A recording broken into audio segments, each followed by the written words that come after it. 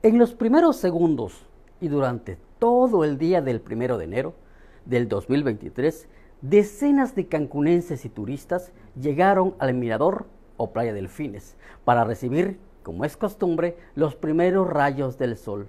Año tras año, e incluso con la pandemia, darse cita en esta icónica playa resulta una concentración de personas. lo peculiar, perdón, lo peculiar de este año es que se notó la ausencia de personal de protección civil y la escasa asistencia de personal de seguridad pública. Es indispensable que los cancunenses nos sintamos seguros y que nuestra autoridad nos los demuestre. Soy Sergio Masté para Cancún Channel y Contrapunto Noticias.